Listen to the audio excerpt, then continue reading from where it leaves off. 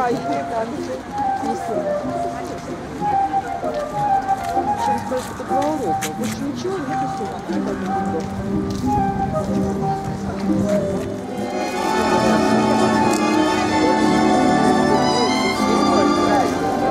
и Ропщет, свищет.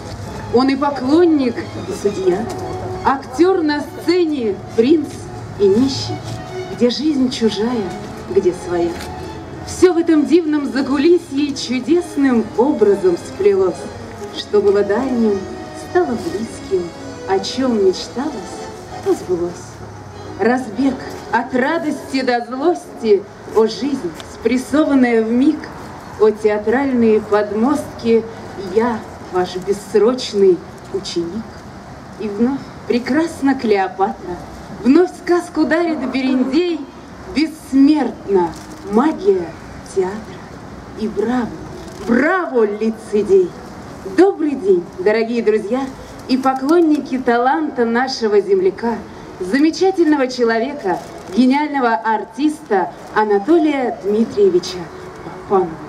29 октября в нашем городе состоялось торжественное открытие пятого юбилейного фестиваля имени Папанова. Все творчество Папанова – наглядная преданность основному назначению профессии артиста – созданию в каждой роли нового образа человека. Идеальный артист тот, кто ни разу в ролях не повторится. Анатолий Попанов был близок к этому идеалу. Палитра его поисков была чрезвычайно богата. Всем нам очень не хватает Анатолия Дмитриевича, его таланта, его святого отношения к своей профессии, его юмора, его обаяния. И сегодня, день рождения Анатолия Дмитриевича, по доброй традиции мы собрались у памятника Папанову, чтобы почтить память великого артиста. Слово предоставляется главе муниципального образования Вяземский район Смоленской области Инне Васильевне Демидовой. Добрый день, дорогие друзья! Вот уже пятый год подряд – в нашем городе проводится театральный фестиваль имени народного артиста СССР Анатолия Дмитриевича Попанова, нашего земляка. Идея об этом фестивале еще родилась в 2012 году, и с тех пор она стала уже доброй традицией. И с каждым годом к нам приезжают все больше и больше театральных коллективов из разных регионов нашей страны. А в этом году по традиции приезжают еще и наши друзья из белорусского города, нашего побратима из Горши. Это настоящий праздник, театральный праздник радости, творчества. Он показывает и говорит о том, что театральные события могут быть не только в больших городах, в столицах, но и в таких малых городах, как наша Вязьма. Мне хочется сказать огромное спасибо и выразить благодарность Елене Анатольевне Попану, которая находит время всегда, приезжает к нам, работает жюри, тщательно осматривает все театральные постановки. Она всегда с нами. Спасибо огромное. Очень приятно всем артистам с ваших рук получать награды.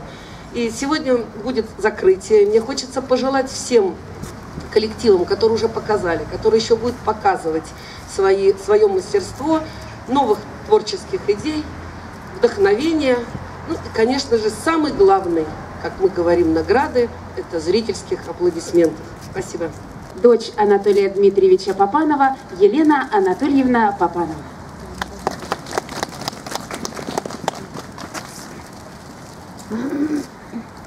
Здравствуйте, дорогие мои везмичи. Я очень рада, что в этом городе существует память не только в этом городе, вообще по всей России, конечно, его помнят, потому что очень много показывается фильмов, сейчас очень много снимается передач, фильмов о нем, о его жизни. Но этот город особенный, здесь он родился. И очень приятно, что здесь его помнят, отсюда его корни.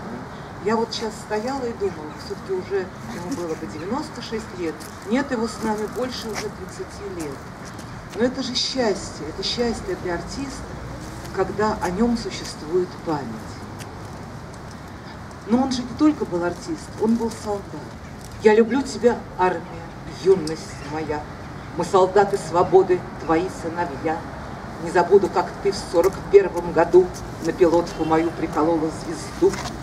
С каждым днем отступала на запад война, с каждым днем подступала к вискам седина. Не забуду, как ты в сорок пятом году от пилотки моей отколола звезду. Мы солдаты свободы, твои сыновья. Я люблю тебя, армия, юность моя.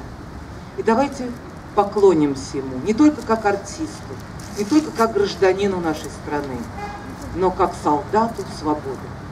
Потому что эти люди этого заслужили.